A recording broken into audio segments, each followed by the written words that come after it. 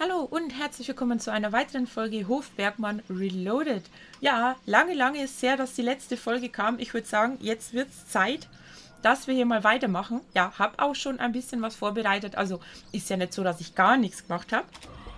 Stehen blieben waren wir ja ähm, bei den Aufzuchtstationen hauptsächlich. Also für die Schweinchen und für die Lämmer. Das haben wir ja vorbereitet.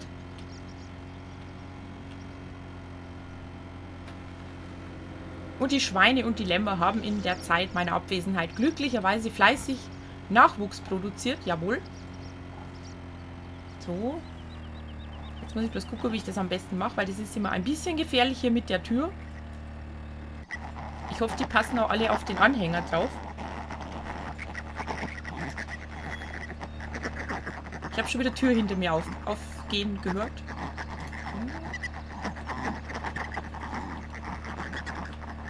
Ich hoffe, der Spielsound ist jetzt auch nicht zu laut. Ich glaube doch, er ist ein bisschen sehr laut. Da habe ich nämlich dran rumgefummelt, ja. Ähm, jetzt, Moment, wo haben wir es denn?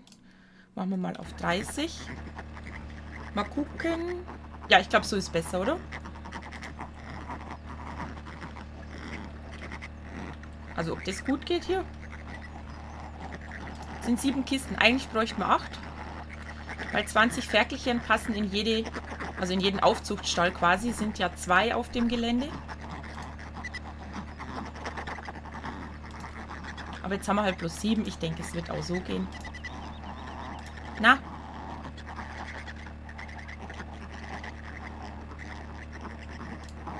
Oh. Ja, ansonsten ähm, habe ja schon wieder ein paar Livestreams gemacht. Bei der Hofbergmann hat sich auch ein bisschen was geändert. Das haben wir euch auch schon in den Streams gezeigt. Mache ich natürlich äh, auch nochmal im Laufe des Let's Plays. So. Ah, wieso ist die denn jetzt rausgerutscht? Die kriege ich doch jetzt dann nicht mehr rein. Natürlich nicht. Halt! Och, kommt schon. Oh, gut festhalten, Jungs. Und Mädels. So, und jetzt schnell die Spanngurte drum. Zack. Einwandfrei. Na, das ist doch wieder Ladungssicherung par excellence, würde ich sagen. Aber ja, es geht schon. Ist ja nicht so weit, Gott sei Dank. Ja, ja. Da hört ihr mal, wie die sich jetzt freuen über den kleinen Ausflug hier. Eieiei. Ei, ei.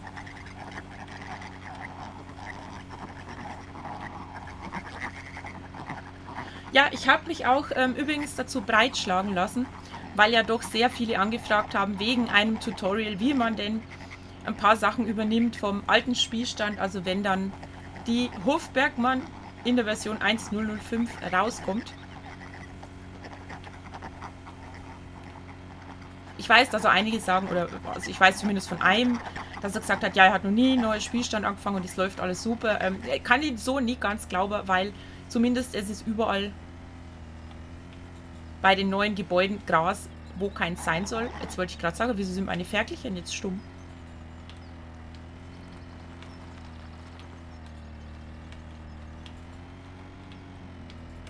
So. Ah ne, ist noch alles gut da. Ja, wie gesagt, da werde ich also für euch ein kleines Tutorial machen. Ich weiß, da haben ja viel schon einige Stunden in den Spielstand investiert. Ja, so funktioniert übrigens hier das Bestücken mit den Ferkeln. Wir nehmen eine Box und äh, werfen sie liebevoll, aber mit Nachdruck hier in diese Bucht rein. Nein, ihr könnt die natürlich auch nehmen und hier reinlaufen. So, und da seht ihr schon. Da erscheinen die kleinen Ferkelchen. Nicht wundern jetzt, weil die Ferkelchen hier in der Bucht ein anderes Modell sind als die in meiner Box. Die in meiner ähm, Ferkelbox, die sind noch das alte Modell. So, es sind ja schon vier, gell? Ja, natürlich. 20 Jungtiere. Ja, ja. So, das seht ihr jetzt. Das machen wir hier wieder zu. Ja, Tierbestand, Ferkelzucht, 20 Jungtiere. Alttiere haben wir natürlich noch keine. Das sauert ein bisschen. Das hier hatten wir ja vorbereitet. Also einmal hier die Ferkelmilch und Ferkelfutter. Da hat sich auch was geändert, das kann ich euch jetzt auch gerade zeigen, das passt wunderbar. Und zwar finden wir das hier im Shop unter Map Additionals. Da gab es ja vorher nur ähm, für die Schafe hier, für die Aufzucht oder auch für die normalen Schafe, die Milch produzieren zum Füttern. Ähm, hier diese kleinen Säcke, ja, 50 Liter. Dann haben wir hier die Ferkelmilch, die haben wir ja auch schon hergestellt. So, und da gibt es jetzt neu Ferkelfutter und den Sheepmix, also das Schaffutter als Big Bag. Jawohl, aber die Big Bags wurden ein bisschen überarbeitet. Die hat der Andi nämlich aufgehübscht. Die sehen jetzt noch besser aus. Mhm. Ja, und da seht ihr eben, da haben wir jetzt ähm, die 600 Liter Big Bags. Wenn ihr sagt, äh, ihr möchtet das nicht mit den kleinen Säcken hier machen, mit den 50 Liter, dann geht das jetzt auch mit diesen Big Bags. Sind sie nicht putzig? So, und genau das gleiche machen wir natürlich jetzt auch auf der anderen Seite.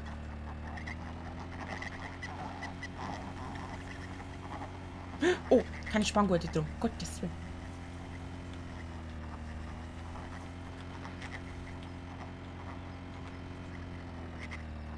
So. Und da, ich habe euch ja die Aufzuchtstation schon mal gezeigt. Ich kann auch mal das Licht anmachen. Vielleicht sieht man es dann besser. Oh, ja, Rotlicht. Oh Gott, das haben wir jetzt auf der anderen Seite ganz vergessen. Das müssen wir natürlich noch anmachen. Futter und Milch haben sie. Ja, und wenn wir dann die erwachsenen Schweine haben, ist die Entnahme hier. Man sieht es ja hier an dem Symbol ganz gut. So. Einmal. Oh, hopp. Na. Oh, oh, schön vorsichtig. Äh, nichts passiert. Alles gut. Schnell reinschmeißen in die Bucht. So, die sind auch gut untergebracht. Ja, hier ist nicht eingestreut. Man sieht es ja, das sind äh, Spaltenböden hier drin. Bei den Schafe braucht man, also die haben ja ein Strohbettchen bei der Lämmeraufzucht. So, jetzt machen wir auch zu. Dass die Kleinen nur krank werden. Ja, der Pferch hier ist ja eben für das Zwischenparken quasi von den erwachsenen Schweinen.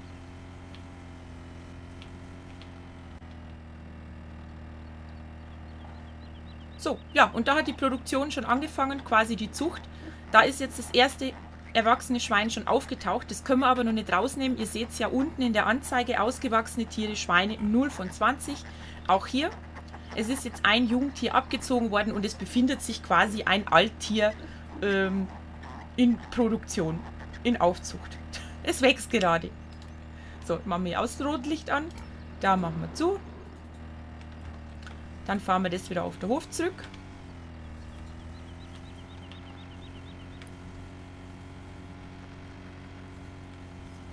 Ja, ansonsten äh, habe ich definitiv, ich glaube, hier machen wir auch besser zu. Hä? Nicht, dass ich da Unbefugte an meinen Ferkelchen zu schaffen mache und mir nur welche rausklauen.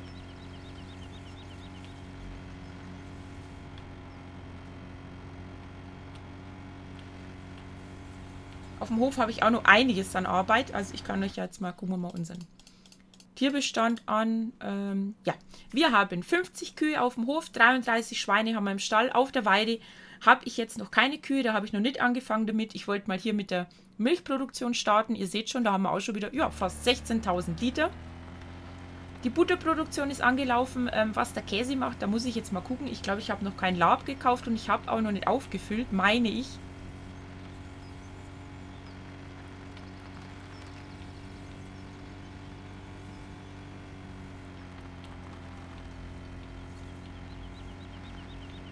Ich muss auch sagen, ich äh, vernachlässige gerade ein bisschen der Buche, weil ich gerade sehr gern mit dem Quad unterwegs bin.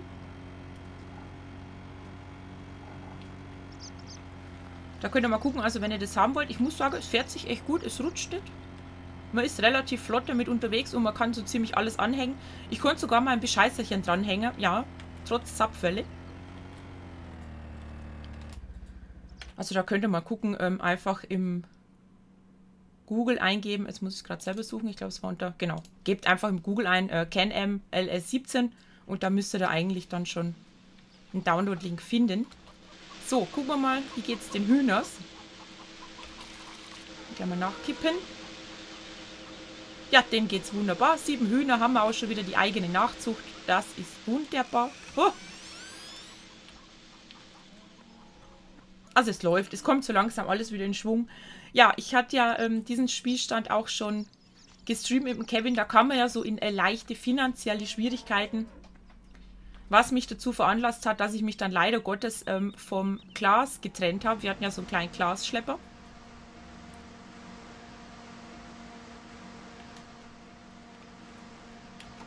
Die Entscheidung fiel mir nicht leicht, aber da der wirklich schlechte Bremsen hatte, ähm, ja, musste der leider gehen. So.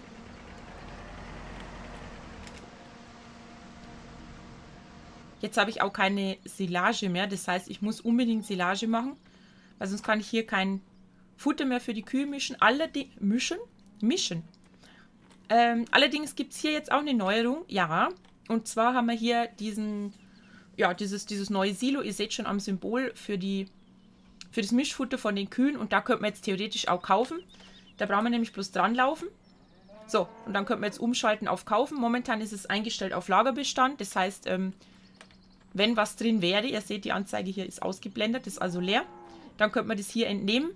Oder wenn es halt jetzt wirklich komplett ausgeht, also bevor mir die Kühe verhungern, dann müsste ich halt hier kaufen. Und das geht dann, wenn die Klappe zu ist. Also wenn ich jetzt mit dem Hänger drunter fahre, dann kaufe ich Mischfutter. Und genau das gleiche könnten wir auch bei den Schweinen machen. Da läuft die Futterproduktion allerdings schon. Bisschen was haben wir drin. Können wir jetzt auch gleich mal gucken. Ich glaube, die Kühe waren ja satt, gell? Naja, das reicht noch. Dann können wir es nämlich schon mal hier einlagern. Und dann brauchen wir den immer zum oberen Silo da hochfahren. So, da fahren wir jetzt einfach hin zum Einlagern. Vorn dran, das reicht schon. Kippen das hier ab. So, und wenn wir jetzt auf die Anzeige gucken, haben wir 5999 Liter Mischfutter für die Kühe da drin.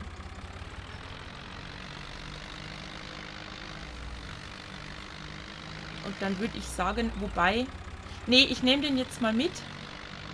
Weil den habe ich ja immer... Ist auch toll, gell? Den habe ich immer zum Ausmisten und zum Füttern. Super.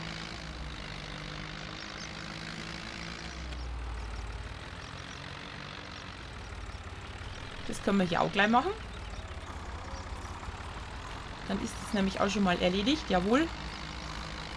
Na, Mädels, wie sieht's aus bei euch? Alles gut? Ja. Dann bin ich ja zufrieden.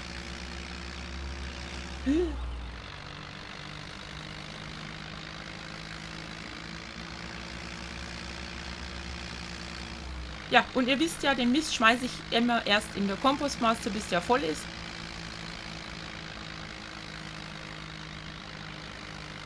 Ich denke mal, der Rest wird dann in die BGA wandern.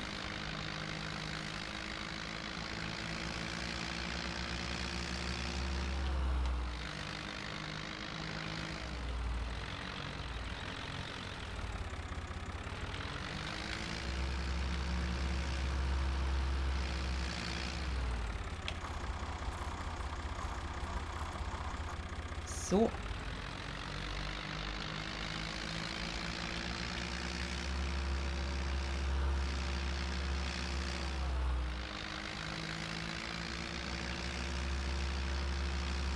Dann stellen wir den jetzt mal wieder auf die Seite und dann gehen wir noch schnell zu den Schweinen. Da haben wir nämlich genau das gleiche Silo bekommen. Also für die, die es jetzt noch nicht gesehen haben, ich zeige euch das nochmal schnell. Den lassen wir... Oh, oh, die Bremsen. Den lassen wir jetzt einfach mal da stehen.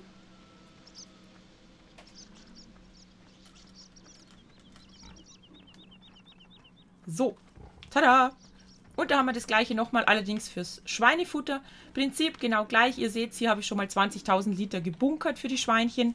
Und da könnte ich eben jetzt auch umstellen, wenn ich dran laufe, ähm, auf Kaufen. Dann ist nämlich die Klappe zu und wenn man jetzt dran fährt, dann kann man hier Schweinefutter kaufen. Machen wir wieder auf, wir wollen ja eigenes produzieren und einlagern. Gut, dann würde ich sagen, ja, das soll es gewesen sein. Für diese Folge komme ich zum Ende. Ich bedanke mich fürs Zuschauen, hoffe es hat Spaß gemacht und freue mich natürlich, wenn ihr auch beim nächsten Mal wieder mit dabei seid. Bis dahin, wie immer, eine gute Zeit und ich sage Tschüss.